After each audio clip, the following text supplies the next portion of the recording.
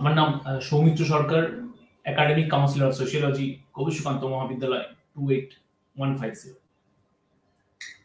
আজকে আমরা যে বিষয়টি নিয়ে আলোচনা করব, সেটা হচ্ছে বিএসওসি থ্রি একশো বত্রিশ sociology of India unit two এবং ইউনিট থ্রি ইউনিট টু এর বিষয়বস্তু হচ্ছে আমাদের পরিবর্তনশীল ভারত, এবং ইউনিট থ্রির আমরা আলোচনা করব ট্রাইবস বা উপজাতি। ভারতীয় সমাজ কিন্তু দীর্ঘ সামাজিক প্রেক্ষাপট ধরে এগিয়ে যাচ্ছে। ফলে স্বাভাবিকভাবেই ভারতীয় সমাজের এই যে পরিবর্তন, এই যে ধারাবাহিকতা, এই ধারাবাহিকতার ধারাকেই কিন্তু আমরা স্বতঃস্ফূর্তভাবে আলোচনা করব এবং সেখানে দেখে নেব কীভাবে উপজাতি সমাজ কাঠামোতেও সামাজিক পরিবর্তন পরিলক্ষিত হয়েছে। সুতরাং আমরা কিন্তু স্টেপ বাই স্টেপ যাব। আমরা প্রথমেই দেখে নেব যে সামাজিক পরিবর্তন বলতে সাধারণত কি বলা হয়ে থাকে। দেখো সামাজিক পরিবর্তন মানে কিন্তু আমরা এটা বুঝে নিতেই পারি। সামাজিক পরিবর্তন মানে দেখো পরিবর্তন মানেই হচ্ছে যে অবস্থা, সেই অবস্থা থেকে একটা অন্য অবস্থায় রূপান্তর হচ্ছে। তার মানে কোনো জিনিসই কিন্তু চিরস্থায়ী হয় না। তাহলে সমাজের ক্ষেত্রে যখন পরিবর্তনের কথা বলা হয়, তার মানে সামাজিক পরিবর্তনের যখন কথা আমরা যখন বলব, তার মানে সমাজ কাঠামো কিন্তু সবসময় একই রকম থাকবে না। আজ আমরা বর্তমান সমাজে যেভাবে আছি, বর্তমান সমাজের যে কাঠামো, যে রীতিনীতি, চালচলন, মানুষের বেশভূষা স্ট্রাকচার ঘর বাড়ি এগুলো কিন্তু দীর্ঘ সময় একই রকম থাকবে না বা এর আগে কিন্তু সেরকম ছিল না, যেটা এখন আমাদের সমাজে আছে। সুতরাং আমরা কি দেখব? মানে সামাজিক শৃঙ্খলা সামাজিক প্রতিষ্ঠান, সামাজিক রীতিনীতি, আচার, অনুষ্ঠান, এই সমস্ত কিছুর মধ্যেই কিন্তু পরিবর্তন পরিলক্ষিত হয়। এবং এই সব কিছুকে নিয়ে যেহেতু সমাজ গড়ে ওঠে, সেজন্যই বলছে সামাজিক পরিবর্তন। তার মানে সমাজের সার্বিক কাঠামোগত পরিবর্তন। তাহলে পরিবর্তন কিন্তু কখনোই এক জায়গায় চিরস্থায়ী নয়। সব সময় সেটা অনবরত চলতেই থাকে চলতেই থাকে।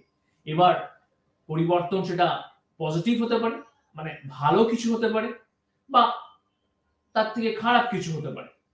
কিন্তু সমাজ সব সময় একই রকম থাকবে না। আমরা যদি দেখি ব্যক্তি জীবন, দেখো ব্যক্তিও কিন্তু একটা ব্যক্তিও ছোট থেকে আস্তে আস্তে বড় হয়ে ওঠে।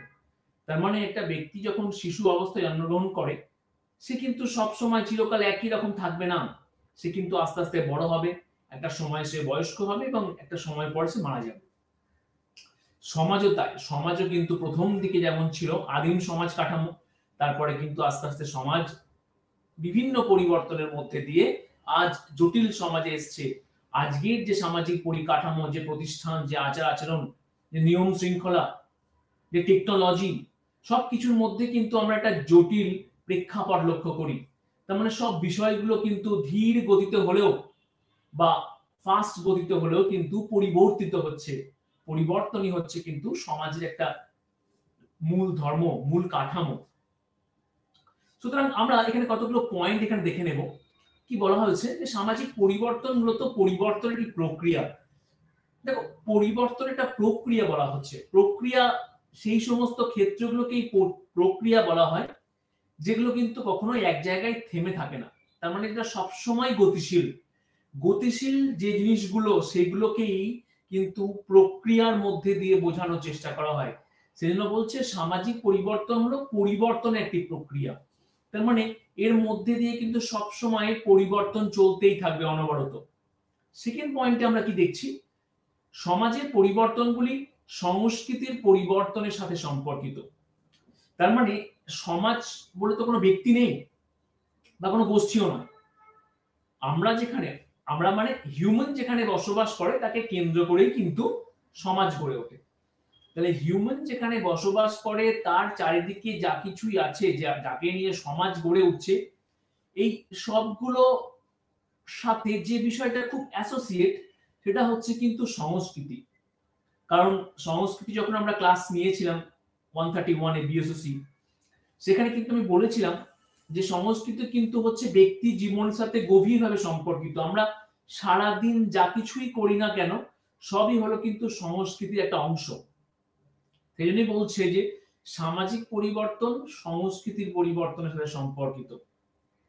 সংস্কৃতি আমাদের কথাবার্তা চালচরণ রীতিনীতি, বেশভূষা ফুড হ্যাবিট টেকনোলজি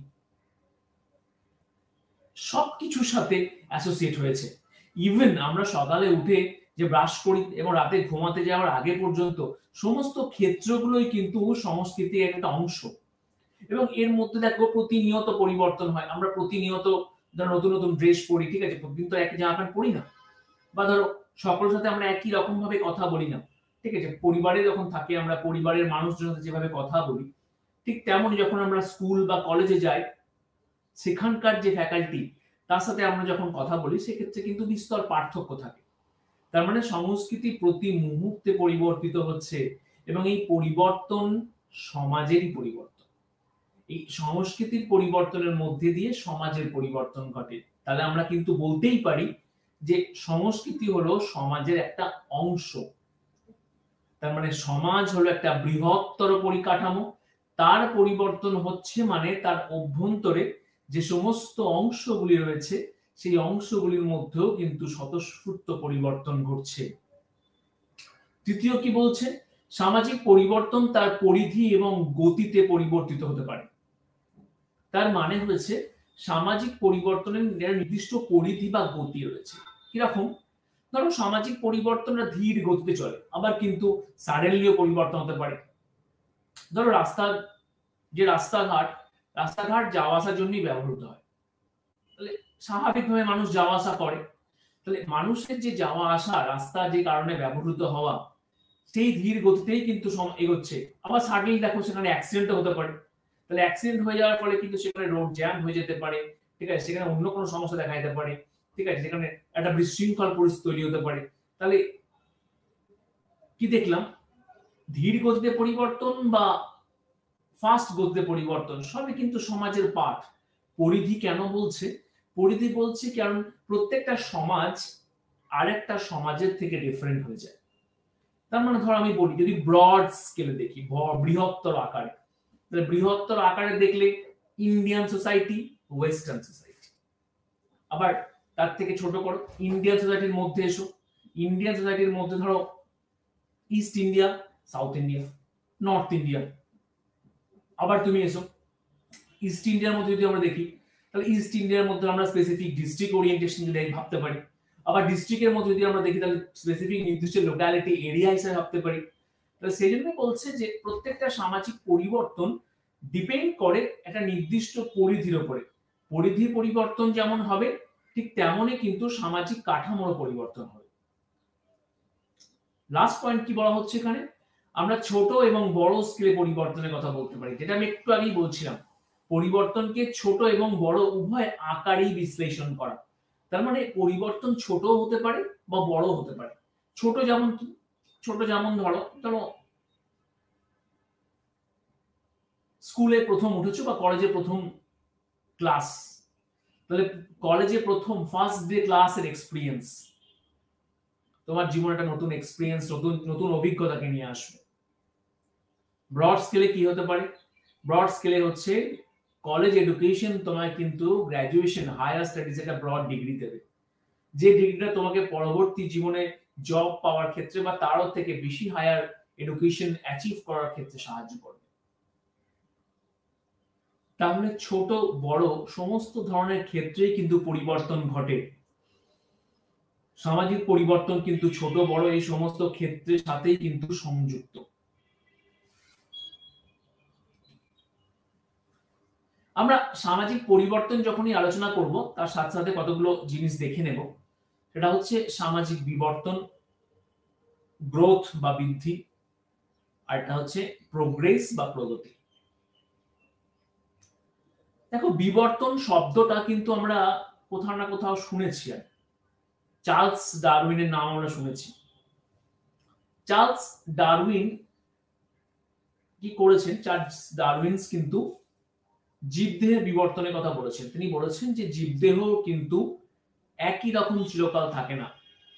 একটা জীবদেহ বা কোষ কোষ কিন্তু সরল থেকে জটিল। হয় তার মানে বিবর্তনের ক্ষেত্রে আমরা কি দেখলাম যে কোনো জিনিসের মধ্যে একটা ধীর গতি আছে এবং পরিবর্তন আছে। কি রকম এবং সেই পরিবর্তনের ধীর গতি এবং ধারাবাহিক কেন?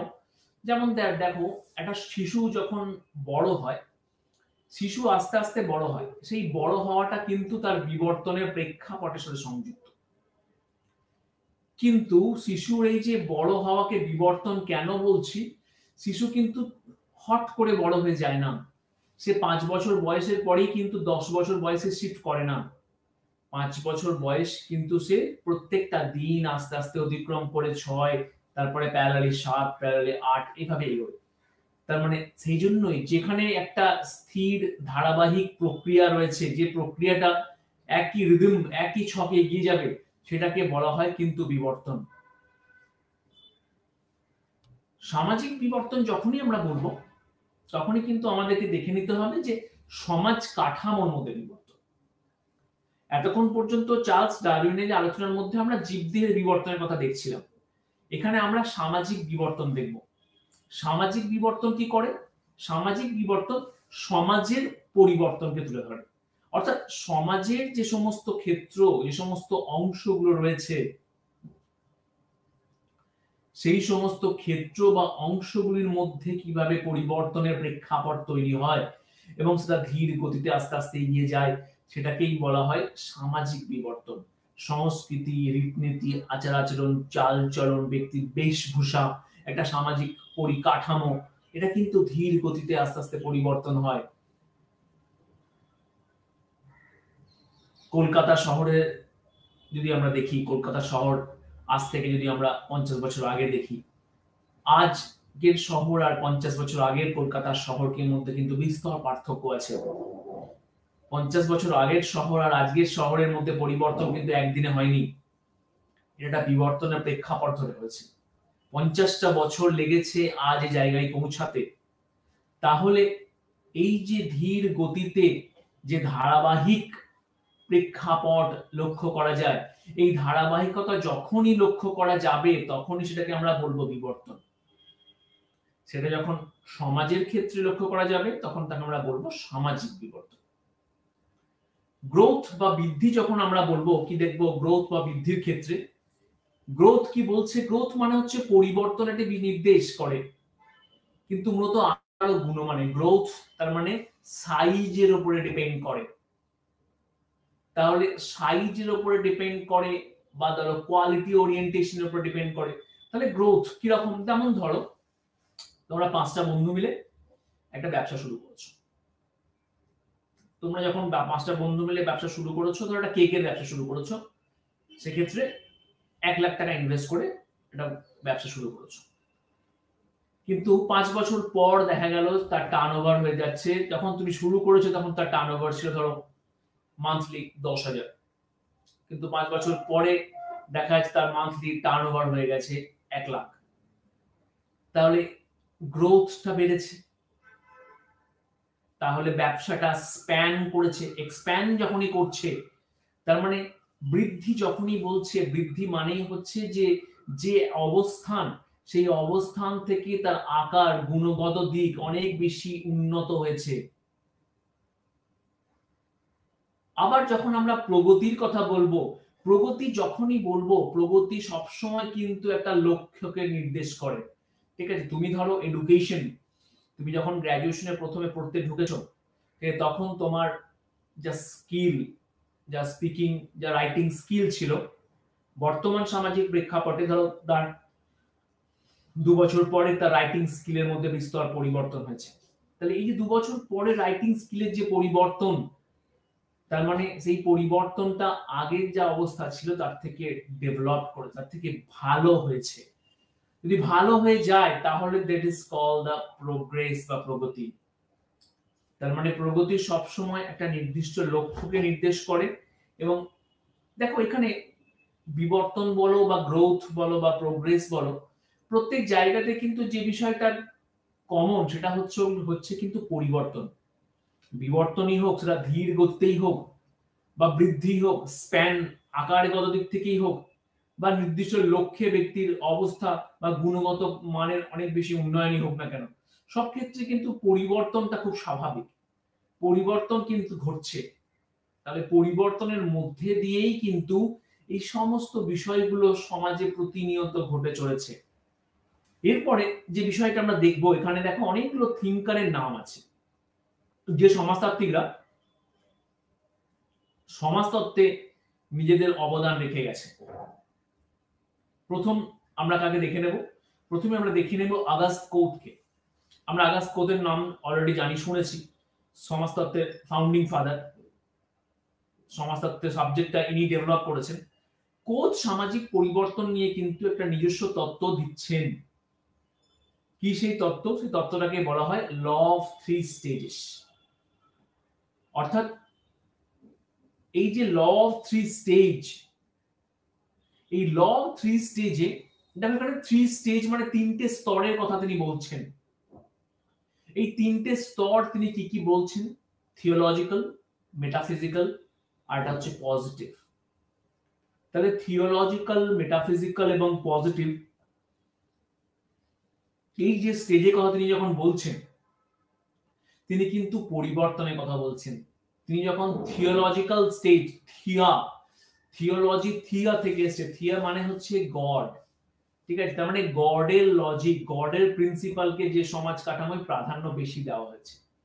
কোথ যে ত্রিস্তর বিধির কথা বলছে, সেখানে প্রথমেই যে স্তরটা হচ্ছে, সেটা হচ্ছে থিওলজিক্যাল যেখানে ধর্মীয় প্রাধান্য বা ব্যাখ্যা বেশি পেয়েছে গুরুত্ব। সেই সময় মানুষ মনে করত, মানুষের যে জীবন, তার যে সমাজ, যে পরিবর্তন, সবকিছুই নির্ভর করছে কার দ্বারা? সবকিছু নির্ভর করছে ভগবানের দ্বারা। গড তারা সুপার ন্যাচারাল এন্টিটির উপরে বিশ্বাস করছে গডের উপরে বিশ্বাস করছে। সেইখান থেকে মানুষের চিন্তা ভাবনা কোথায় শিফট করছে? সেখান থেকে মানুষের চিন্তা ভাবনা শিফট করছে মেটাফিজিক্যালে মেটাফিজিক মেটাফিজিক মানে হচ্ছে যে এমন কোন জিনিসের অস্তিত্ব রয়েছে যেটা ব্যক্তিকে নিয়ন্ত্রণ করে। তার মানে তারা কি করছে? তার মানে তারা সেই সমাজ কাঠামো নির্দিষ্ট আইন কাঠামোর বিকাশ ঘটাচ্ছে।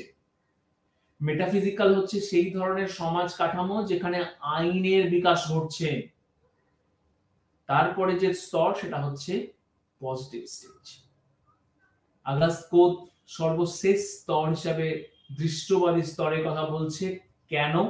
তার কারণ তিনি বলছেন যে দৃষ্টবাদী স্তরে কি হবে? দৃষ্টবাদী স্তরে মানুষের চিন্তা ভাবনা অনেক বেশি যুক্তি কেন্দ্রিক সমস্ত কিছুকে যুক্তির মধ্যে দিয়ে ব্যাখ্যা করার ব্যাপারে মানুষ অনেক বেশি তৎপরতা দেখাবে।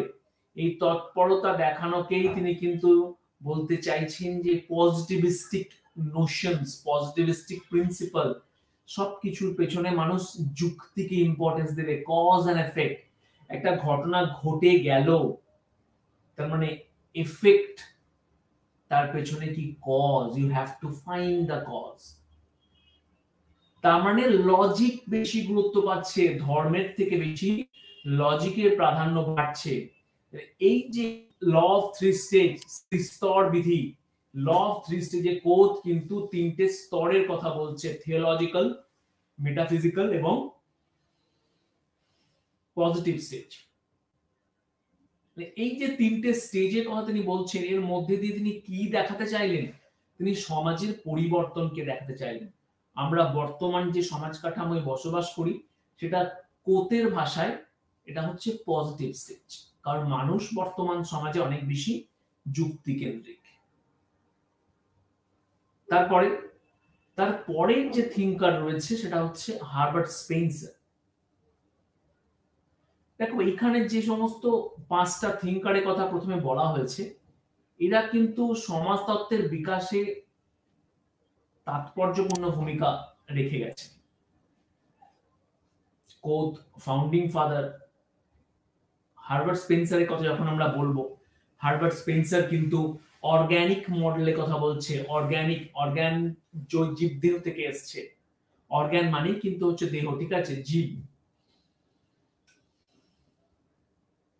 তার মানে হার্বার্ট স্পেন্সার যখন অর্গ্যানিসিজমের কথা বলছে তার মানে তিনি কি দেখাতে চাইলেন? সমাজের সাথে জীবদেহের তুলনা করছেন।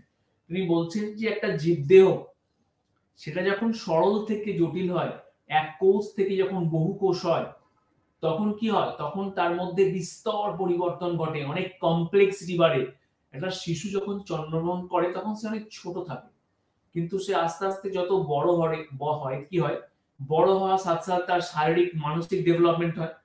তাহলে শারীরিক, মানসিক যখন উন্নয়ন হবে, তার মানেই হচ্ছে তার সমাজের প্রতি একটা কন্ট্রিবিউশন রয়ে গেছে।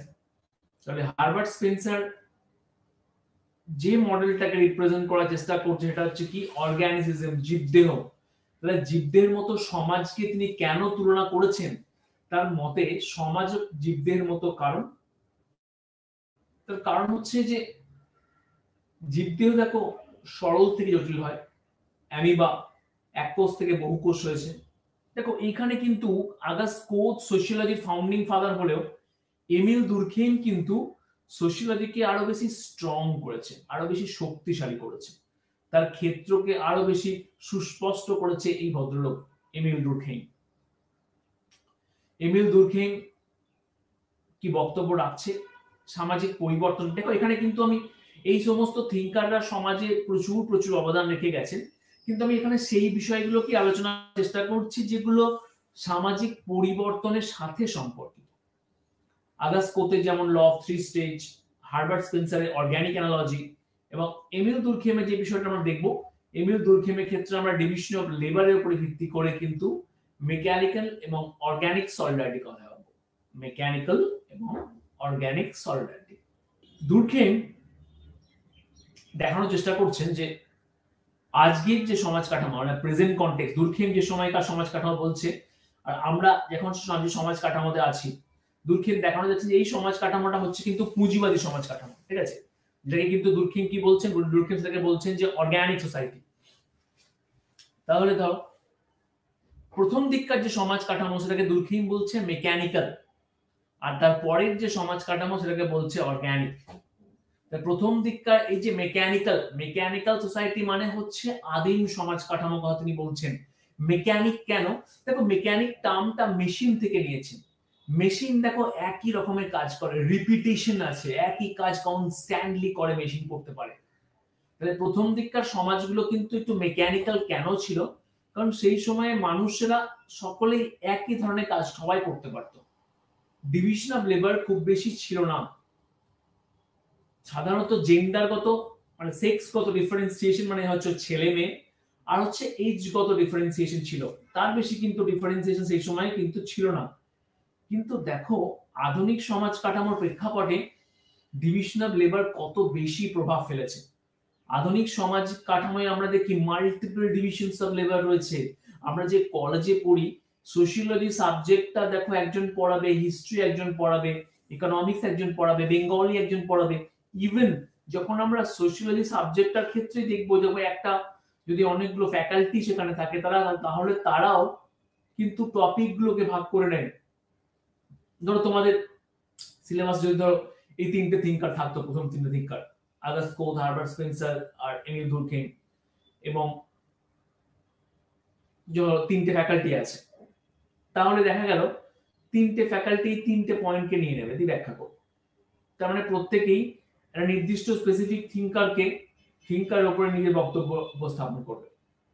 তারপরের যে পয়েন্ট তার পরের পয়েন্টটা কি বলছে? তার পরের পয়েন্টটা বলছে কার্ল মার্কস খুব এসেন্সিয়াল একটা থিঙ্কার কার্ল মার্কস সর্বদাই কিন্তু কনফ্লিক্ট নিয়ে কথা বলেছে, দ্বন্দ্ব নিয়ে কথা বলেছে এবং তিনি দেখানোর চেষ্টা করছেন যে কীভাবে ঐতিহাসিক প্রেক্ষাপট ধরে দ্বন্দ্ব একটা সমাজে পরিবর্তন নিয়ে আসার জন্য প্রাইম ফ্যাক্টর হিসাবে কাজ করে।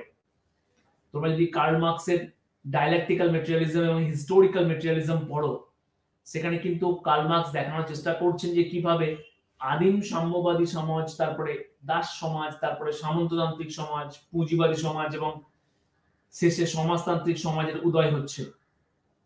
তাহলে কার্ল মার্কস এই যে ধরো দীর্ঘ সমাজ কাঠামোর কথা বলছেন সেখানে কিন্তু বুঝে নিতে হবে যে এই যে এই যে কাঠামোগত পরিবর্তন, এই পরিবর্তনটা কিন্তু কার্ল মার্কস দেখানোর চেষ্টা করেছে কীভাবে?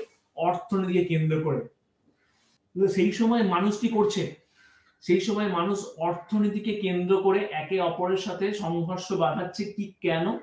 কারণ মার্কস বলছে যে প্রত্যেকটা সমাজ, এই একটু যেটা বললাম যে সমাজগুলো, প্রত্যেকটা সমাজে দুটো করে শ্রেণি রয়েছে হ্যাভ আর হ্যাভ নটস হ্যাভ মানে হচ্ছে যাদের হাতে সম্পদ, সম্পত্তি রয়েছে। আর হ্যাভ নটস মানে হচ্ছে যাদের হাতে সম্পদ বা সম্পত্তি নেই। তার মানে কার্ল মার্কস কি দেখাতে চাইলো? যে সমাজ ব্যবস্থা অর্থনৈতিক প্রেক্ষাপটকে সামনে রেখে এবং এই অর্থনৈতিক প্রেক্ষাপট যেটা তিনি বলছেন, সেটা কিন্তু প্রত্যেকটা সমাজের ভিত্তি এবং অর্থনীতি মানে কিন্তু শুধু শুধুমাত্র কিন্তু পয়সা কথা বলছে না। অর্থনীতি মানে হচ্ছে না ব্যক্তিকে জীবনের সুখ, স্বাচ্ছন্দ্য বা বেঁচে থাকার জন্য একটু অন্য রকম ভাবে সামাজিক পরিবর্তনের কথা। ম্যাক্স ওয়েবার কি দেখাচ্ছে? ম্যাক্স ওয়েবার দেখাচ্ছে যে জার্মানিতে যে সমাজে পরিবর্তন হয় এবং ক্যাপিটালিজম বা পুঁজিবাদের বিকাশ হয়, এটা কিন্তু হট করে হয়নি। এর পেছনে সেই সমস্ত ব্যক্তিদের অবদান রয়েছে who are follow the Protestant religion তিনি সেই সেখানকার জার্মানির বিভিন্ন ব্যবসায়ী সমিতির উপরে স্টাডি করে দেখেছেন যে মোস্ট অফ দ্য ইন্ডাস্ট্রিয়ালিস্ট তারা কি? তারা হচ্ছে ব্যবসা পরিকাঠামোর উপরে ভিত্তি করে সোশিওলজিক্যাল পার্সপেক্টিভ নিয়ে আলোচনা করো। তার মানে দেখো, ম্যাক্স ওয়েবারের আলোচনা আমরা কি দেখব? ম্যাক্স ওয়েবার ধর্মকে বেশি গুরুত্ব দিচ্ছেন। যে সেই সময় জার্মানিতে যারা প্রোটেস্ট্যান্ট ধর্মকে প্রাধান্য দিয়েছে? তারাই সেই সময় জার্মানিতে কি করেছে? অর্থনৈতিক দিক থেকে উন্নতি অর্জন করেছে। তার মানে আমরা বলতেই পারি যে সেই সময়ে প্রোটেস্টেন্ট রিলিজিয়ান, তার একটা খুব ফেমাস গ্রন্থই হলো Protestant ethic and the spirit of capitalism. তাহলে এখানে তিনি দেখাতে চাইছেন যে কীভাবে প্রোটেস্ট্যান্ট নীতিবোধগুলো ক্যাপিটালিজমের ডেভেলপমেন্টে সাহায্য করছে। তাহলে পুঁজিবাদের যে বিকাশ জার্মানিতে হচ্ছে ক্যাপিটালিজমের যে ডেভেলপমেন্ট হচ্ছে, সেখানে প্রোটেস্টেন্ট ধর্মের মানুষরা সব থেকে বেশি ফ্ল্যারিশ করছে। এরপরে যে টপিকটা আমরা দেখব, দেখো এখানে করে রেখেছি, আধুনিকীকরণ হিসাবে উন্নয়ন এবং পরিবর্তন। দেখো এখানে চেঞ্জিং ইন্ডিয়ার যে টপিকটা আমরা পড়ছি, সেখানে আধুনিকীকরণের কথা বলছে। ঠিক আছে মডার্নাইজেশন হচ্ছে তার ইংলিশ আধুনিকীকরণ সবকিছুকে আধুনিক প্রেক্ষাপট, তার মানে নতুন সময়, সমাজ এর সাথে চলা। তাহলে এই যে সময় বা সমাজের সাথে চলা, এটা কীভাবে উন্নয়ন এবং পরিবর্তন নিয়ে আসছে, সেইটাকে আমরা দেখব তিনটে তাত্ত্বিক প্রেক্ষাপটকে সামনে রেখে। কোন কোন তিনটে তাত্ত্বিককে আমরা আলোচনা করব এক্ষেত্রে? উইলবার্ট মুর, ডেভিড ম্যাকক্যালেন্ট আর একটা হচ্ছে আন্দ্রে গুন্দ্রে ফ্র্যাঙ্ক। এরা তিনজনাই কিন্তু আধুনিকীকরণের প্রেক্ষাপটকে একটি ভিন্ন দৃষ্টিকোণ থেকে দেখানোর চেষ্টা করেছে। প্রথমে আমরা দেখে নেব উইলবার্ট মুর। উইলবার্ট মুর কিন্তু আধুনিকীকরণকে দেখানোর চেষ্টা করছেন কীভাবে আধুনিক প্রেক্ষাপট, নতুন নতুন চিন্তাধারা, নতুন নতুন যুক্তি, প্রযুক্তিবিদ্যা, নগরায়নের প্রেক্ষাপট, সমাজ কাঠামোয় পরিবর্তন আনছে। যার উপরে ভিত্তি করে শহরাঞ্চল এবং গ্রামাঞ্চলের মধ্যে বিস্তর পরিবর্তন। আধুনিকীকরণের ফলে নতুন নতুন প্রযুক্তিবিদ্যার বিকাশ হয়েছে। ঠিক আছে? গ্রামীণ সমাজ কাঠামো শহরে সমাজ কাঠামোর সাথে একত্রিত হয়ে পড়েছে। আবার পশ্চিমী সমাজ কাঠামো সাথে, ঠিক আছে? প্রাচ্যের সমাজ কাঠামোর একটা যোগসূত্র গড়ে উঠেছে আধুনিকীকরণকে সামনে রেখে। তাহলে সময় সমাজ পরিবর্তনের সাথে সাথে মানিয়ে নেওয়ার এই যে দ্রুত প্রেক্ষাপট মোর তাকে আধুনিকীকরণের দৃষ্টিকোণ থেকেই তুলে ধরার চেষ্টা করেছেন। তারপরের পয়েন্টটা দেখো, ডেভিড ম্যাকক্যালেন ডেভিড ম্যাকক্যালেন কিন্তু আইডিওলজিক্যাল প্রেক্ষাপটকে দেখাচ্ছেন। প্রত্যেকেই কিন্তু দেখো, আধুনিকীকরণের প্রেক্ষাপটকে বিভিন্ন দৃষ্টিকোণ থেকে দেখানোর চেষ্টা করছে ম্যাকক্যালেন কি বলছে? ম্যাকক্যালেন দেখানোর চেষ্টা করছেন যে কীভাবে মূল্যবোধ তাহলে মানুষের যে মূল্যবোধ, মানুষের যে রীতিনীতি, যে চালচলন, এটার মধ্যে কীভাবে পরিবর্তন আসছে? আধুনিকীকরণ কিন্তু মানুষের মূল্যবোধে পরিবর্তন নিয়ে আসছে দেখো, আমরা আজ আধুনিক নতুন ড্রেস পত্র পড়তেছো এই ধরো জ্যাকেট, ঠিক আছে, জিন্স, এগুলো কিন্তু অনেক বেশি পশ্চিমী সংস্কৃতির একটা বিষয়। ঠিক আছে, ইন্ডিয়ান সংস্কৃতির সাথে কিন্তু ধুতি, পাজামা, ঠিক আছে, শল, এই ধরনের বিষয়গুলো অনেক বেশি লক্ষ্য করা যায়। আধুনিকীকরণ কি করেছে? আধুনিকীকরণ এই সমস্ত বিষয়গুলোকে অনেক ব্রড স্কেলে ছড়িয়ে দিয়েছে। তাহলে যে সমস্ত মানুষ, ধরো একটা নির্দিষ্ট সাংস্কৃতিক পরিকাঠামোর মধ্যেই প্রভাবিত ছিল, সে অনেকগুলো সংস্কৃতির সংস্পর্শে আসতে পারছে, যার ফলে সাংস্কৃতিক পরিবর্তন ঘটছে এবং নতুন নতুন উন্নয়নের পরিকাঠামো উঠে আসছে। আন্দ্রে ফ্র্যাঙ্ক যখন পড়বে, আন্দ্রে ফ্র্যাঙ্ক কি বলছে? আন্দ্রে ফ্র্যাঙ্ক কিন্তু একটা অন্য প্রেক্ষাপটে বিষয়টাকে দেখানোর চেষ্টা করছে। আন্দ্রে ফ্যান, কিন্তু এখানে আরবানাইজেশনের কথা বলছেন। কীভাবে ইন্ডাস্ট্রিয়ালাইজেশন এবং আরবানাইজেশন শিল্প এবং নগরায়ন, শিল্পায়ন এবং নগরায়ন সমাজ কাঠামোয় পরিবর্তন নিয়ে আসছে। দেখো যেখানে শিল্প গড়ে উঠবে মানে ধরো ফ্যাক্টরি হবে, সেখানে কিন্তু নগরও গড়ে উঠবে। আমরা কিন্তু দুর্গাপুরের কথা বলতে পারি। দুর্গাপুর হচ্ছে একটা ইন্ডাস্ট্রিয়াল নগর। কারণ দুর্গাপুরে প্রচুর প্রচুর ইন্ডাস্ট্রি হয়েছে। প্রথমে সেখানে ইন্ডাস্ট্রি ফ্যাক্টরি ডেভেলপমেন্ট হয়েছে ফ্যাক্টরি গ্রো করেছে। তারপরে ধরো সেখানে যে সমস্ত মানুষরা কাজ করার জন্য এসছে, তারা সেখানে থেকে গেছে এবং আস্তে আস্তে সেখানে আস্তে শহর গড়ে উঠেছে। তাহলে নগর বা শহর গড়ে ওঠার ক্ষেত্রে কিন্তু শিল্পের যেটা ভূমিকা রয়েছে, সেটা কিন্তু দেখাচ্ছে কে? আন্দ্রে গুন্দ্রে ফ্যাং। তাহলে এখানে এই যে স্লাইড এই স্লাইডে দেখো একসঙ্গে আমরা অ্যারাউন্ড আটটা থিঙ্কার নিয়ে আলোচনা করছি। Auguste Comte Herbert Spencer, Emile Durkheim, এর সাথে পরিবর্তন হতে হবে মানুষের মনকেও তাহলে মনন আর সমাজ কাঠামোর যে একই সাথে পরিবর্তন ঘটে বা একে অপরের সাথে সংযুক্ত, এটা কিন্তু আগাস কোদ দেখানোর চেষ্টা করছেন তার ল অফ থ্রি স্টেজ তত্ত্বের মধ্যে দিয়ে।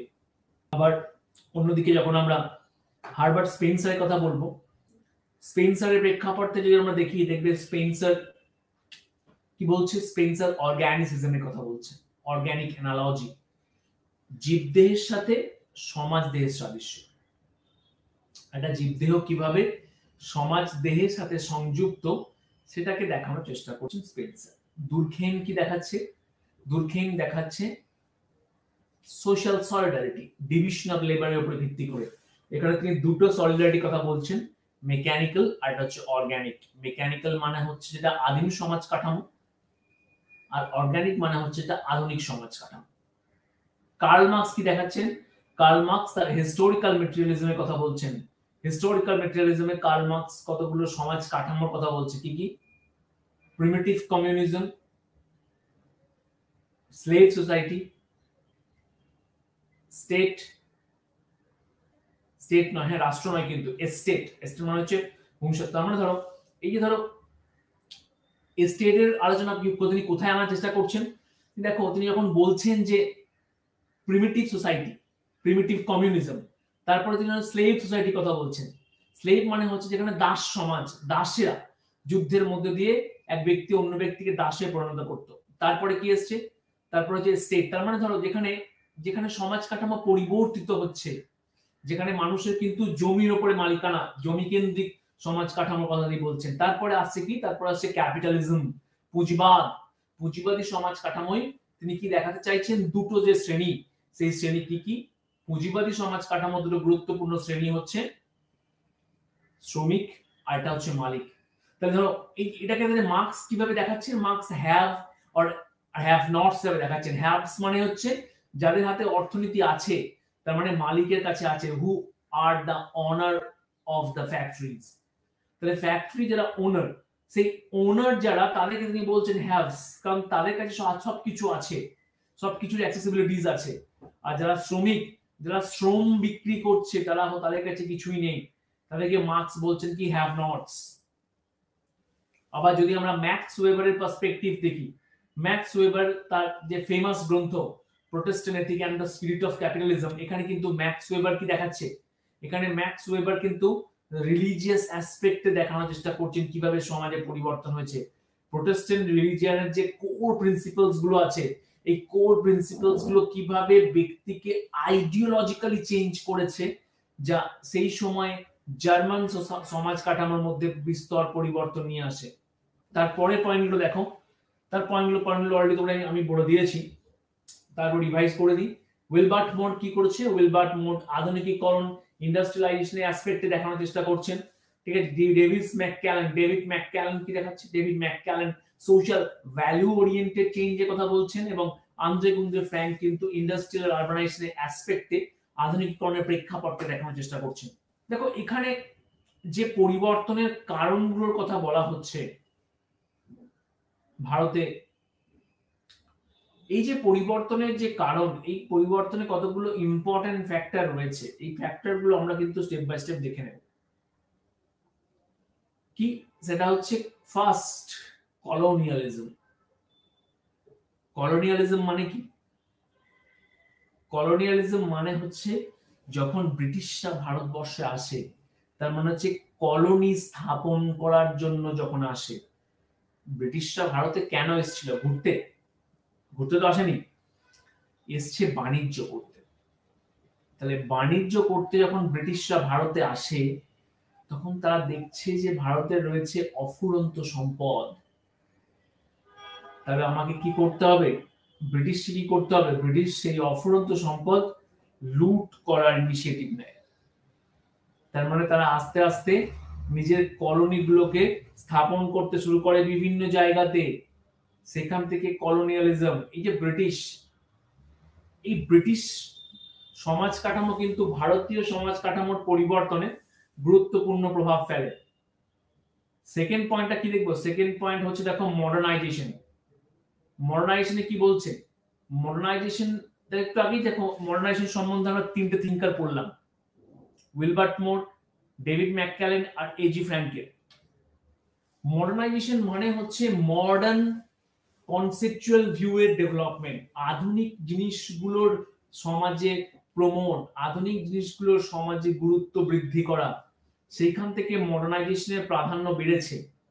তাহলে আধুনিকীকরণ সমাজ কাঠামোয় বিস্তর পরিবর্তন এসেছে। আধুনিকীকরণের ফলে দেখো কীভাবে র্যাপিডলি নগর বা শহর গড়ে উঠছে।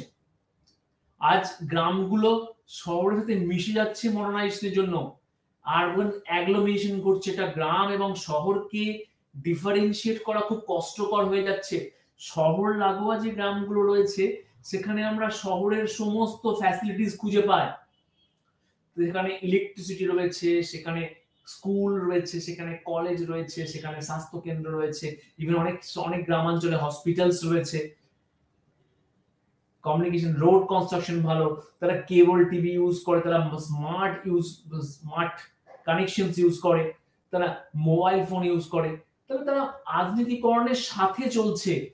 সমাজ যেভাবে পরিবর্তন হয়েছে, সেই পরিবর্তনের সাথে তারা কিন্তু তাল মিলিয়ে এগিয়েই চলে। সেজন্য বলছে মডার্নাইজেশন থার্ড পয়েন্টটা কি বলছে? থার্ড পয়েন্ট বলছে সেকুলারাইজেশন সেকুলারাইজেশন কি বলছেন? দেখো সেকুলারাইজেশন আমরা তোমরা ভালো করে ভাবো। সেকুলারাইজেশনের ক্ষেত্রে আমরা কি দেখছি? সেকুলার মানে হচ্ছে ধর্মীয় প্রেক্ষাপটকে কেন্দ্র করে সমস্ত মানুষের মধ্যে একটা ঐক্য। ভারতে এটা কেন প্রাসঙ্গিক? তার কারণ হচ্ছে ভারতে একসঙ্গে অনেকগুলো ধর্মের মানুষ বসবাস করে। সব থেকে বেশি ধর্মের মানুষ হিন্দু ধর্ম।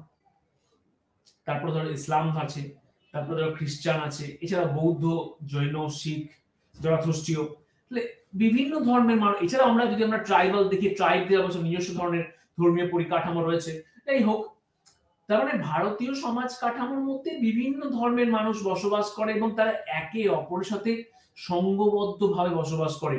তাহলে ইউনিটি আর ডাইভার্সিটি আমরা আগের দিন কিন্তু ক্লাস একটু আলোচনা করেছিলাম ইউনিটি ডাইভার্সিটি ইউনিটি এবং ডাইভার্সিটি তাদের মধ্যে প্যারালালি চলছে। তাহলে এই এই যে পয়েন্টসগুলো এখানে দেওয়া হয়েছে কলোনিয়ালিজম বা মডার্নাইজেশন বা সেকুলারাইজেশন এগুলো কি? এগুলো একটা প্রক্রিয়া, এগুলো এগুলো কনস্ট্যান্ট কনস্ট্যান্ট কলোনিয়ালিজম নয়। ঠিক আছে মডার্নাইজেশন এবং সেকুলারাইজেশন একটা প্রসেস যে প্রসেসটা কনস্ট্যান্ট চলছে এবং মানুষের আচার আচরণ, ভাবভঙ্গি, চালচরণে বিস্তর পরিবর্তন হয়েছে। দেখবে ধর্মীয় যে গোড়ামি, ধর্মকে কেন্দ্র করে যে যে সমস্যার বাতাবরণ একটা সময়ে পরিলক্ষিত হতো অনেক বেশি আজ কিন্তু সেখানে অনেক বেশি লিবার্টি এসছে, অনেক বেশি স্বাধীনতার বাতাবরণ ছড়িয়েছে। আজ কিন্তু মানুষ অনেক বেশি স্বাধীন, অনেক বেশি অনেক বেশি অন্যের ধর্মের প্রতি সহিষ্ণু।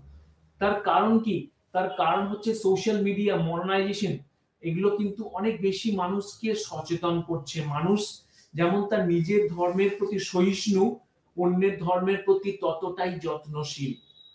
তার পরের যে পয়েন্ট তার পরের পয়েন্টটা দেখো খুব ইম্পর্টেন্ট একটা পয়েন্ট সেটা হচ্ছে ওয়েস্টার্নাইজেশন ওয়েস্টার্ন মানে কি? ওয়েস্টার্ন মানে পশ্চিমী সমাজ কাঠামো।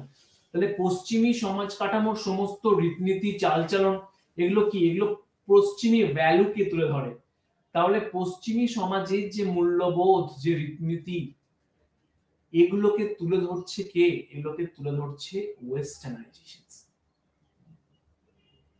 তার মানে ভারতীয় সমাজ কাঠামো আধুনিক সময়ে পশ্চিমী সমস্ত মূল্যবোধকে অনুকরণ করছে। কেন? কারণ তার মূল্যবোধ, তার আচার আচরণ, তার রীতিনীতি, তার চালচলনকে পরিবর্তন করার জন্য। সেই জন্যই বলছে পশ্চিমীকরণ। এটা একটা প্রক্রিয়া কেন এবং এটা ধারাবাহিক কেন? তার কারণ হচ্ছে ভারতে মানুষেরা কিন্তু প্রতি মুহূর্তে পশ্চিমী জিনিসের দ্বারা প্রভাবিত হচ্ছে। পশ্চিমীকরণের প্রভাব কিন্তু অনেক বেশি বেড়েছে ভারতে এবং এটা কেন বেড়েছে? পরের দিকে পয়েন্টে আমরা আসব। দেখো LPG liberalisation privatisation and globalisation এটা কিন্তু ভারতে পশ্চিমীকরণের ডেভেলপমেন্টে অনেক বেশি অবদান রাখছে। আজ কিন্তু আমরা পশ্চিমী সভ্যতার সমস্ত জিনিসপত্রগুলোকে অনুকরণ করতে পারছি বা সেগুলোকে হাতের কাছে পাচ্ছি। তার একটাই কারণ কারণ বিশ্ব মার্কেটটা, বিশ্ব বাজারটা অনেক বেশি উন্মুক্ত হয়ে গেছে। তাহলে পশ্চিমীকরণ কি করল? পশ্চিমীকরণ ভারতীয় সমাজ কাঠামোর মধ্যে বিস্তর পরিবর্তন নিয়ে আসছে প্রতিনিয়ত। তারপরের পয়েন্ট কি? তার পয়েন্ট হচ্ছে ইন্ডাস্ট্রিয়ালাইজেশন শিল্প। যেখানে যেখানে দেখবে শিল্পের বিস্তৃতি ঘটে, ঘটেছে, সেই জায়গাগুলো দেখবে অনেক বেশি ডেভেলপ হয়েছে। যেমন ধরো দুর্গাপুর, গুরগাঁও এই সমস্ত জায়গাগুলোতে সব থেকে বেশি শিল্প সব থেকে বেশি ইন্ডাস্ট্রিয়াল হাব সব থেকে বেশি ফ্যাক্টরিজ রয়েছে। তাহলে যেহেতু সেখানে এই জিনিসপত্রগুলো রয়েছে, তার মানে উৎপাদনের সাথে কানেক্ট করে বিভিন্ন ধর্ম, বর্ণের মানুষ সেখানে যাতায়াত করে, সেখানে বসবাস করে। প্রচুর সংখ্যক মানুষ সেখানে জবের সন্ধানে যায়। এইভাবে কিন্তু আস্তে আস্তে কি করছে? আস্তে আস্তে এটা বিশাল শহর গড়ে উঠছে। তাহলে ইন্ডাস্ট্রি একটা শহরের জন্ম দিচ্ছে, যে শহরটা মানুষের জীবনশৈলীকে প্রভাবিত করে। কারণ এখানে যে মেন বড় পয়েন্টস যেটা আন্ডারে আমরা এগুলো পড়ছি এটা কি? সেটা হচ্ছে ভারতে পরিবর্তন। তাহলে পরিবর্তনের এগুলো কিন্তু সেই কারণ। Colonialism modernisation secularisation westernisation industrialisation এবং দেখো প্রত্যেকটার মধ্যে একটা কানেকশনস আছে। ওয়েস্টার্নাইজেশন ইন্ডাস্ট্রিয়ালাইজেশন তারপরে দেখো আছে আরবানাইজেশন আরবানাইজেশন নগর।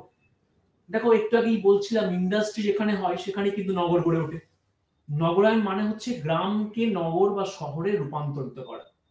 যত বেশি আধুনিক জিনিসপত্র তৈরি হবে, যত বেশি তার চাহিদা বাড়বে, সেটাকে কেন্দ্র করে গড়ে উঠবে কিন্তু নগর। আমরা কিন্তু এরকম প্রচুর প্রচুর নগর সমাজে গড়ে উঠতে দেখি।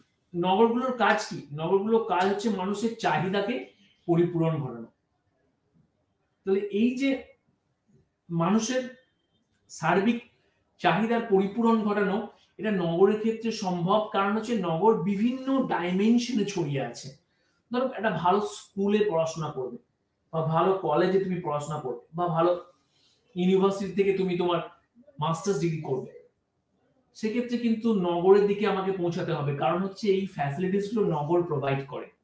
যুক্তি shopping mall education industry railway communications metro communications hospitals shopping mall এই যে ধরো মাল্টিপল জিনিস যেগুলো ব্যক্তি জীবনের সাথে অ্যাসোসিয়েট এগুলো সব কিন্তু নগরাঞ্চলে পাওয়া যায়। তার মানে নগর মানুষকে কি করে? মানুষকে টানে। দেখবে তোমরা পড়েছ বা আগে আমি বলেওছিলাম আগে ক্লাসে ক্লাসে তুমি দেখো, তোমার দেখো দেখতে পাবে। Push and pull factor push মানে হচ্ছে সেই জিনিসগুলো যেগুলো মানুষকে আকর্ষণ করে। ধরি পুল মানে হচ্ছে আকর্ষণ করে। অন্যদিকে পুশ মানে হচ্ছে যেটা ঠেলে তার মানে শহরাঞ্চল বা নগরাঞ্চলের ক্ষেত্রে আমরা কি দেখি? নগরাঞ্চলে এই সমস্ত সুযোগ সুবিধাগুলো হচ্ছে পুল ফ্যাক্টর ব্যক্তিকে এগুলো টেনে নেয়। আর শহরাঞ্চলের ক্ষেত্রে আমরা, গ্রামাঞ্চলে আমরা কি দেখব? গ্রামাঞ্চলের ক্ষেত্রে এটা হচ্ছে পুশ ফ্যাক্টর পুশ কেন? কারণ এগুলো তাকে ঠেলে। একটা ভালো ইউনিভার্সিটি গ্রামে নেই, তাহলে তোমাকে ইউনিভার্সিটিতে পড়াশোনা করতে নগরে আসতে হবে। গ্রাম তোমাকে পুশ করছে you can go to the town or city vice versa town বা সিটি ইউনিভার্সিটি এই সমস্ত ফ্যাসিলিটিসগুলোর জন্য তোমাকে পুল করছে, টানছে। যে if you want to achieve if you want to grab this facilities then definitely you have to come here এখানে তোমাকে আসতে হবে। এবং এগুলোই কিন্তু ভারতীয় সমাজ কাঠামোর মধ্যে বিস্তর পরিবর্তন নিয়ে আসছে। তার পরের যে টপিকটা বা পয়েন্টটা রয়েছে, দেখো লিবারালাইজেশন প্রাইভেটাইজেশন গ্লোবালাইজেশন ভারতবর্ষে কিন্তু একটা বিস্তর পরিবর্তন নিয়ে এসছে। ঠিক আছে? লিবারাল লিবারাল থেকে লিবারালাইজেশন লিবারাল মানে হচ্ছে স্বাধীন, ঠিক আছে? তার মানে সবকিছু স্বাধীনভাবে ব্যবসা বাণিজ্য স্বাধীনভাবে করার একটা মার্কেট ওপেন করা। তার মানে কোথাও না কোথাও ব্যবসাকে দেখো সরকার প্রমোট করছে বিজনেসকে প্রমোট করছে, সেখানে ইনভেস্ট করছে। সরকার সরকারি পরিকাঠামোর সাথে বিজনেস ওরিয়েন্টেশনের দিকে বেশি ঝুঁকছে। তাহলে এই বিজনেস ওরিয়েন্টেশনে যুক্ত হলে আমাকে কি করতে হবে? আমাকে একটা লিবারেল প্ল্যাটফর্ম তৈরি করতে হবে। স্বাধীন প্ল্যাটফর্ম তৈরি করব যাতে ব্যক্তি সেখানে তার নিজস্ব চাহিদাগুলোর পরিপূরণ ঘটাতে পারে। প্রাইভেটাইজেশন কি?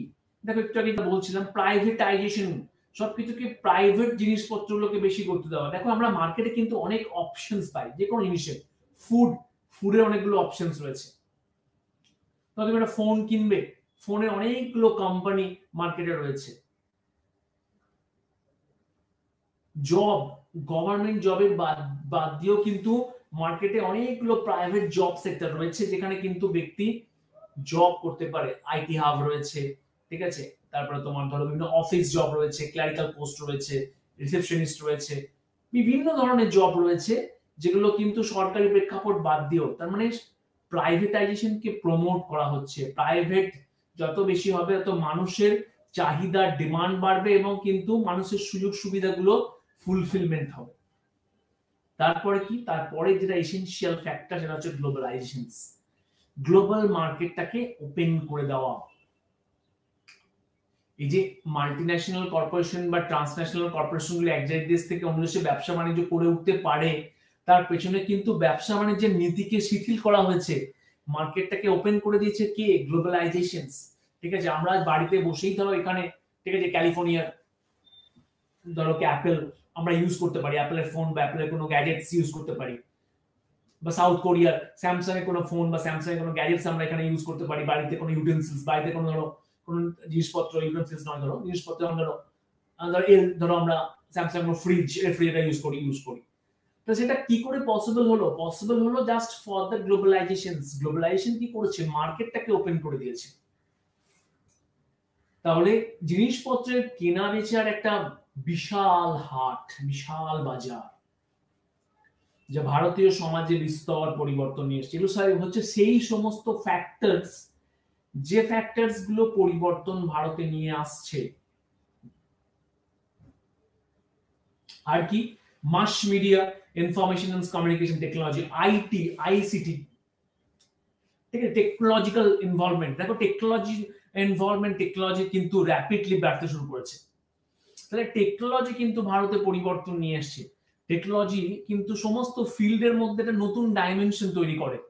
ঠিক তেমনই দেখো পরের যে পয়েন্টটা আছে সোশ্যাল মুভমেন্ট সোশ্যাল মুভমেন্টে কি বলা হচ্ছে? সোশ্যাল মুভমেন্টের মধ্যে রয়েছে কিন্তু ডিফারেন্ট ডিফারেন্ট মুভমেন্ট যেগুলো কিন্তু ভারতীয় সমাজে পরিবর্তন এনেছে। সেটা ধরো tribal movement peasant movement youth movement movement কখন হয়? যখন ডিমান্ডগুলো ফুলফিল হয় না।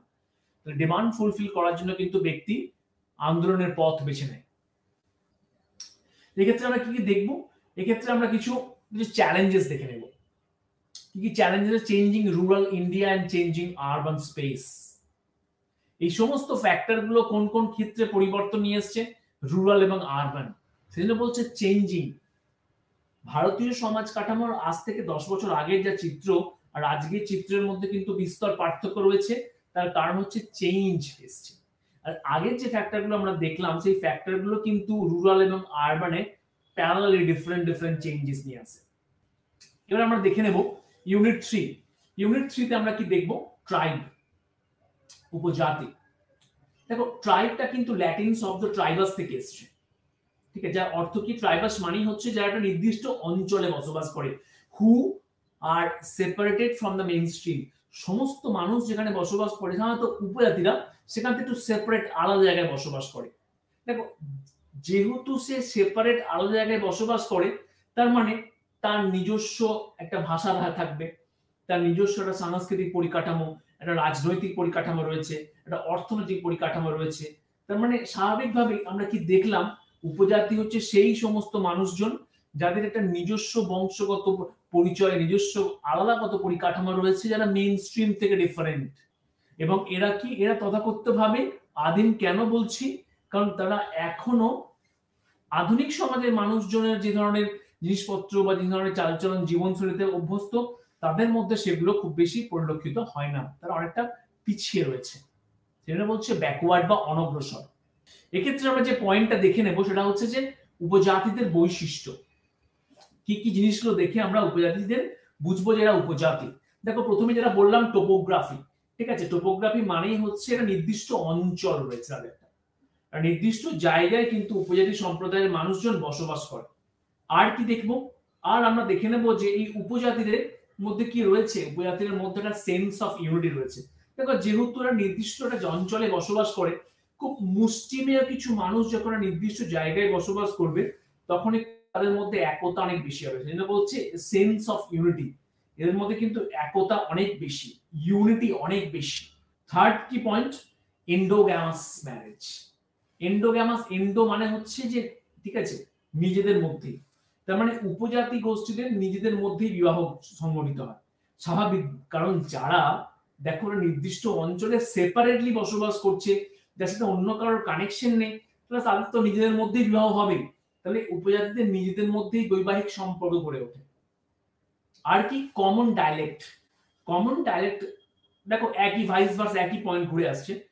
সেপারেট অঞ্চলে বসবাস করার ফলে তাদের নিজস্ব একটা ডায়ালেক্ট তারা তৈরি করেছে। মানে তারা একে অপরের সাথে কমিউনিকেট করার জন্য নির্দিষ্ট ভাষায় কথা বলে। তারপরের পয়েন্টে কি বলছে? টাইজ অফ ব্লাড রিলেশনশিপ তাদের মধ্যে রক্তের সম্পর্কের বাঁধন অনেক বেশি স্ট্রং কারণ এই যে বললাম sense of unity protection awareness তারা কিন্তু একে অপরের প্রতি অনেক বেশি দায়বদ্ধ। উপজাতি সম্প্রদায়ের মানুষরা একে অপরের প্রতি দায়বদ্ধতা অনেক বেশি দেখায়। সেই বলছে প্রোটেকশন ঠিক আছে? একটা ছোট্ট বাচ্চা এবং বয়স্ক বা বা মাঝবয়সী প্রত্যেকের দায়িত্বভার নেওয়া, তাকে প্রোটেকশন দেওয়া, তাদের কিন্তু একটা প্রাইম রেসপন্সিবিলিটির মধ্যে পড়ে। পলিটিক্যাল অর্গানাইজেশন প্রত্যেকটা উপজাতি গোষ্ঠীর নিজস্ব পলিটিক্যাল স্ট্রাকচার যেমন রয়েছে, যেমন একটু আগে বললাম নির্দিষ্ট ভাষা রয়েছে, ঠিক তেমন ভাবে কিন্তু নির্দিষ্ট পলিটিক্যাল একটা অর্গানাইজেশন রয়েছে। আর কি? কমন কালচার একটা সাধারণ সংস্কৃতি রয়েছে। উপজাতি গোষ্ঠীর মানুষেরা নির্দিষ্ট সাংস্কৃতিক পরিমণ্ডলে নিজেদের জীবনশৈলী নির্বাহ করতে অভ্যস্ত। আর কি ইম্পর্টেন্স অফ কিনশিপকে তারা প্রাধান্য দিচ্ছে। আত্মিক বন্ধনকে তারা বেশি গুরুত্ব দেয়। ইগ্যালিটারিয়ান ভ্যালু ইগ্যালিটারিয়ান মানে হচ্ছে ঐক্য কেন্দ্রিক ঠিক আছে? অনেক বেশি আত্মিক তারা, অনেক বেশি ঐক্যবদ্ধ, এই মূল্যবোধে তারা বেশি চলে যে, উই, আমরা উই ফিলিংস তাদের মধ্যে অনেক বেশি স্ট্রং আর কি? সিম্পল ফর্ম অফ রিলিজিয়ান ধর্ম হচ্ছে তার, সেই সমাজে অনেক বেশি সহজ, সরল প্রকৃতি। সেই সময় মানুষরা যে ধরনের ধর্মীয় পরিকাঠামো মেনে চলে, সেটা কিন্তু অনেক বেশি সহজ, সরল প্রকৃতি। আজকের সমাজের মতো কিন্তু জটিল ধর্মীয় পরিকাঠামো নয়।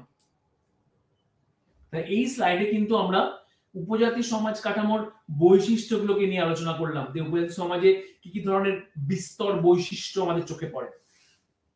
এর পরের যে স্লাইডটা রয়েছে, এই স্লাইডে আমরা কি দেখব? উপজাতি এবং বন। দেখো, বন শব্দটা এখানে এই জন্যই ব্যবহার করা হয়েছে যে উপজাতি সম্প্রদায়ের মানুষরা কিন্তু অনেক বেশি ফরেস্টের উপরে ডিপেন্ডেন্ট। তারা যে সমস্ত অঞ্চলে বসবাস করে সেটা যেহেতু মূল সমাজ কাঠামো থেকে বিচ্ছিন্ন, ফলে স্বাভাবিকভাবেই সেটা কিন্তু একটা জঙ্গল। এবং যেহেতু জঙ্গল সেক্ষেত্রে দেখো, তারা কিন্তু ফরেস্টের উপরে কেন ডিপেন্ডেন্ট তারা জঙ্গল থেকে খাবার সংগ্রহ করে, ঠিক আছে? জঙ্গল থেকে খাবার, জঙ্গল থেকে ফ্রুট মধু এবং জঙ্গল থেকেই দেখো, জীবিকা নির্বাহের অন্যান্য ক্ষেত্রে ইভেন জ্বালানির জন্য তারা কিন্তু কাঠ সংগ্রহ করে। এখানে যে ছবিটা দেওয়া হয়, তোমরা দেখতে পাবে ছবিটা দেখা যাচ্ছে হয়তো। এখানে দেখো, উপজাতি একটা গ্রুপ কি করছে, তারা জঙ্গল থেকে কাঠ নিয়ে যাচ্ছে। তাহলে কাঠকে তারা কি করবে? তারা তারা জ্বালানি হিসেবে ব্যবহার করবে, তারা তারা যে রন্ধন প্রক্রিয়া, তারা কাঠকে জ্বালানি হিসেবে ব্যবহার করবে। তার মানে তারা কিন্তু জঙ্গলের উপর নির্ভরশীল, তারা কিন্তু সেই জমি, জমিতে কিন্তু চাষবাস করে। তাহলে চাষবাসের ক্ষেত্রে উপজাতি সম্প্রদায়ের মানুষেরা অনেক বেশি কিন্তু জঙ্গলের উপর নির্ভরশীল হয়ে পড়ে। সেজন্য বলছে এখানে যে জমি ও জীবিকা, তাহলে জীবিকার ক্ষতি কেন এখানে বলছে? যে তার কারণ এখানে এই জন্য এই পয়েন্টটাকে দেওয়া হয়েছে যে এই ব্যক্তিকে যদি জঙ্গল থেকেই সরিয়ে দেওয়া হয়, তাহলে তার জমি ও জীবিকার ক্ষতি হবে। তারা কোথায় যাবে? তখন তারা কিন্তু কাজের সন্ধানে মেইন স্ট্রিমে ফিরে আসবে। তারা কিন্তু লোকের বাড়িতে, ঠিক আছে রান্নার লোক বা ধরো ফাই ফার্মাসি খাটার লোক বা ধরো কোনো সিকিউরিটি গার্ড এইভাবে তারা কাজ করবে। কারণ তাদেরকে জঙ্গল থেকে উৎখাত করে দেওয়া হচ্ছে। এবং যখন আমরা দেখব উপজাতি সমাজের সাথে জঙ্গলের যে সম্পর্ক, সেটাকে আমরা দেখার চেষ্টা করব প্রাক স্বাধীন এবং স্বাধীনতার পরবর্তী। এই দুটো সমাজ কাঠামোর প্রেক্ষাপটে। প্রাক স্বাধীন প্রেক্ষাপটে আমরা দেখব সেই সময় কিন্তু ব্রিটিশ যখন ভারতে আসে, ব্রিটিশ কিন্তু উপজাতি সম্প্রদায়ের মানুষকে জমি থেকে উৎখাত করে। পরবর্তীকালে কিন্তু দেখা যাচ্ছে কি, জমি থেকে উৎখাত করার ফলে তারা কিন্তু তাদের যে জীবন জীবিকা হারিয়ে ফেলে। এবং পরবর্তীকালে স্বাধীন ভারতবর্ষে সরকার কিন্তু বিভিন্ন পলিসি আনার চেষ্টা করেছে যাতে উপজাতি সম্প্রদায়ের মানুষজনকে মেন স্ট্রিমে ফিরিয়ে আনা যেতে পারে এবং তাদেরকে যাতে জীবিকা প্রোভাইড করা যেতে পারে। কারণ তার কারণ হচ্ছে সমাজ কাঠামোই তাদেরকে ফিরিয়ে আনতে হলে বা তাদেরকে সুযোগ সুবিধা প্রদান করতে হলে এই সমস্ত মানুষজনকে সমাজের মেন স্ট্রিমে ফিরিয়ে নিয়ে আসতে হবে। যাই হোক, আজ আমরা এখানেই শেষ করছি। পরের দিন আমরা নতুন টপিক নিয়ে আলোচনা করব।